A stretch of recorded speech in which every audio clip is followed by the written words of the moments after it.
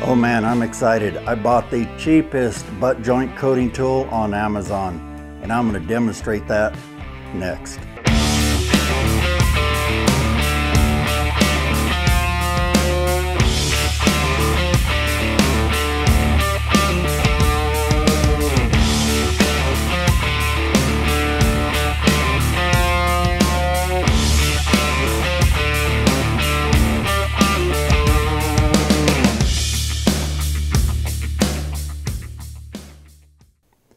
Right, as you heard, I bought the cheapest butt joint coating tool. This is a butt joint, we just made it.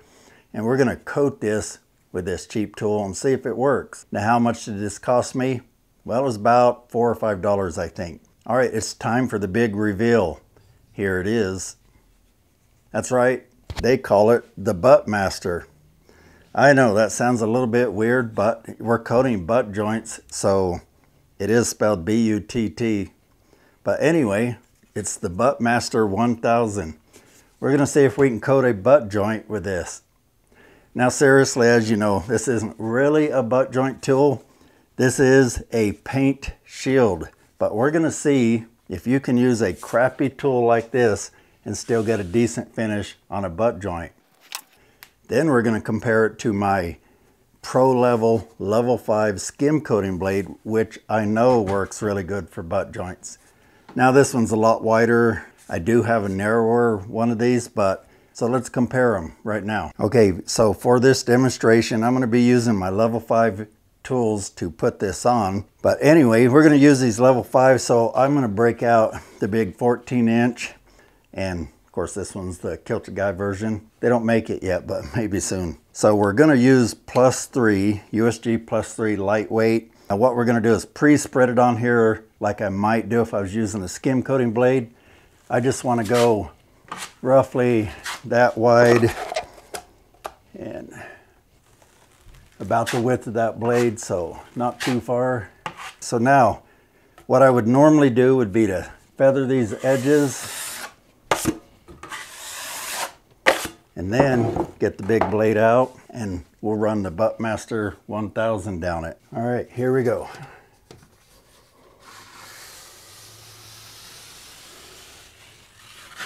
Do that again with a little less outward pressure. I was purposely putting that outer pressure on it.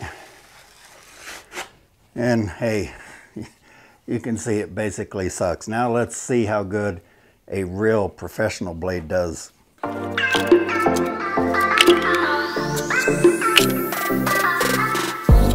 If you haven't seen these yet, I've got some other videos. They're really cool. They've got a flexible blade right here with a rigid back and that gives you some flexibility when doing stuff like this.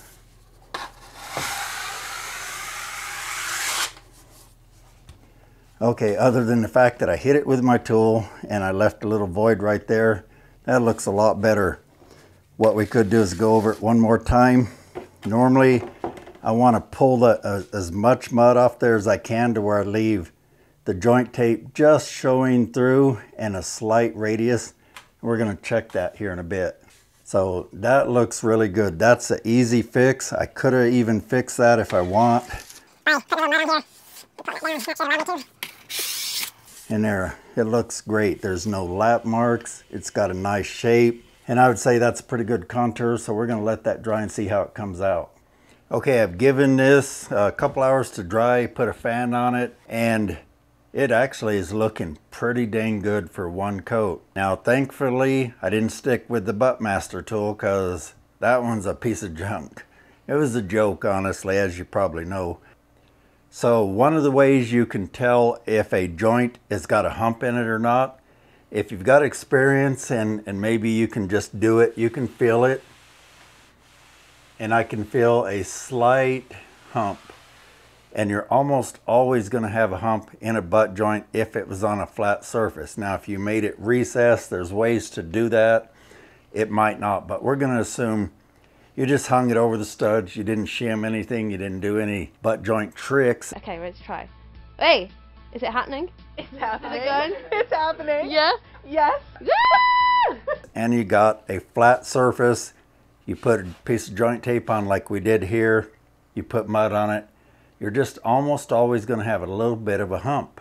So we have a little bit here now. One way to find out how much is again to feel it. The other way is to side light it. So what I did is I've got this light right over here on the side and it's a long light box and that light box is able to concentrate the light in a narrow beam basically. So I shined it down the side of this butt joint and as you can see in the picture here, it looks pretty good. You can barely see anything there. But in this case, I just need to scrape that off and then I'm gonna go ahead and scrape it because sometime you'll get a little tiny bump or something. Now you could do that by sanding like I say, but if you do that, if you sand it, you leave dust on here which makes it harder to put the next coat on. What I did is I checked this with a straight edge and this is a, that 32 inch level 5 skim coating blade but I think they also work great on butt joints. That's why we're doing this. So you just stick it up here and push on both sides and see if it rocks. Well, it's not rocking at all because it's just got the tiniest hump in the middle, but it's actually a little bit high out here and here for whatever reason. All it needs is one more decent coat. So let's go ahead and do that. Then we're gonna dry it and see how it comes out. And we're just gonna do basically the same thing, but maybe a little wider. Usually when you're coating joints of any kind, butt joints, recessed, etc., corner bead, you wanna extend each coat slightly.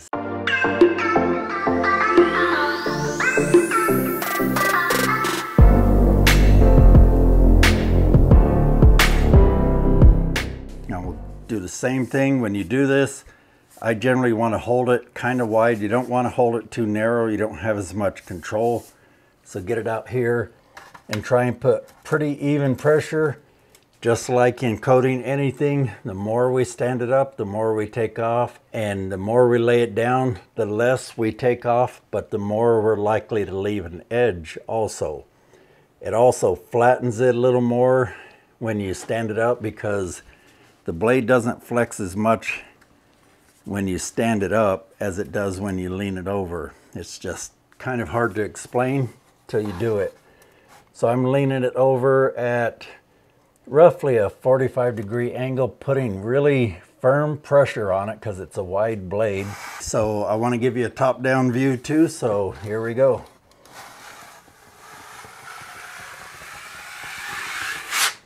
Now sometimes you want to go over it a couple times. I actually let this sit for three or four minutes while I was setting up a GoPro. So it probably thickened up a little. So let's do it again. And that thing quit on me. God, I'm having hell.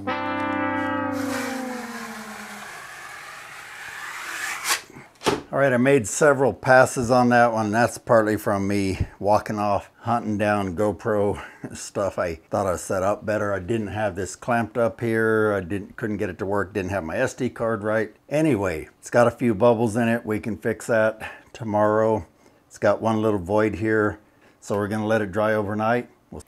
Okay, so hey, this is dry now, but I actually screwed this up last time. As you can see, I let it set way too long. I was messing around looking for things, trying to get my GoPro up above, trying to get it to work. Nothing was going right. This set up way too long, and so it got real draggy. So I'm just gonna do a skim coat, basically, with this blade to clean it up, let it dry, then we'll see what it looks like with that side lighting. So we're just gonna give it a light brush sanding just to knock off mainly like these rough spots.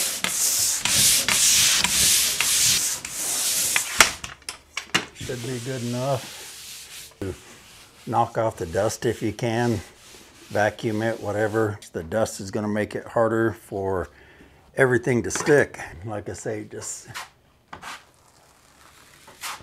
medium thin coat here. I'll thin it down as I go. Uh, lift off and the clock has started. Okay, so now we'll pull a little out of the middle, take a little off the sides. All right, we'll go over this one more time here.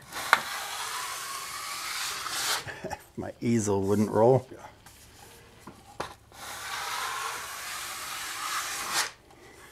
Okay, there we have it, just a pretty tight skim coat. We're gonna let that dry, see what it looks like tomorrow. It's ready to go, uh, but we're gonna check out how good did it come out using the pro grade tools. Now, whenever I'm doing a butt joint, I don't care how good you are, they need sanded. There's two reasons. One is uh, usually you use a blade like this and over here and you got a lap mark down the middle. The other reason is because there'll sometimes be little pinholes in here and I'll show you a close-up of what those look like. And then the third reason is because this is a butt joint, we often have a hump. We want to flatten that hump out pretty much as much as we can. So a lot of times what we'll do is sand more down the middle than anything to try and kind of flatten that out so it doesn't have too much of this type of curve. We want a flatter curve. So we'll sand that middle part down just to the point where the joint tape starts showing through. If you sand to where it's truly showing through, you probably went too far. So be careful with that. So I'm going to use this radius sander today. It's just a really easy one for novices to use, but it works great for pros too. A lot of times I still like my rectangular sander, but if you're gonna get one pole sander as a novice, this is a good choice right here. Most of the time this will get the job done. So we're just gonna sand lightly down, mostly down the middle.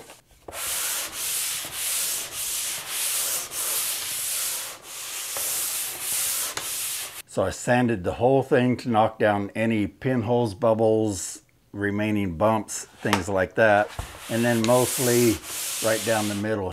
I know that I checked this and it was already fairly flat. So if it is, you really don't have to just keep sanding. So I think that's pretty good. Now let me show you how good it came out because on camera, you really can't tell. I can tell by the feel when I do this and it's not rocking at all. Now if you see from the top down,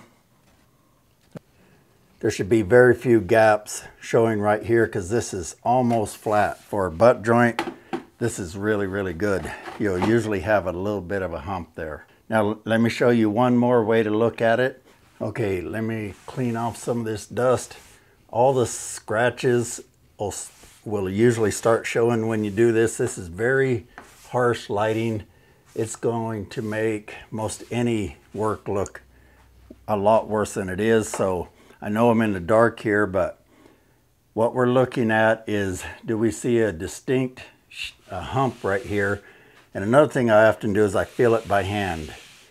With experience, you can tell. And let's go over a little bit with some finer sandpaper. I don't have real fine right here. So you can see up close, the sand scratches still show, but that's not really what we're looking at. We're looking at the hump. So let's check that again on here. and it doesn't rock at all. Okay, so if you were trying to do like level five or something, you'd probably want to go to 220 grit, maybe even a little bit finer because sand scratches will show real easy in this. We're not trying to set that up for this. This would be good enough for a regular texture of any type. They just do show now the painting will cover a lot of that. So that's one reason we don't worry about the, the minor stuff. Now back on camera with this type of lighting, you can see the scratches all disappeared. But under the harsh lighting, they looked like this. And that shows that the side lighting really magnifies every defect. Now you can buy cheaper mud knives of all types, but if you stick with quality like this level 5 that I'm an affiliate for, uh, one reason I like these is they are made really well. Well, hey, as always, I hope that helped you out. Here's some other videos and links to help you out. And if you like this kind of content, be sure and give me a thumbs up. It'll make YouTube show my videos a lot more. Look forward to seeing you on the next video. Take care, everybody.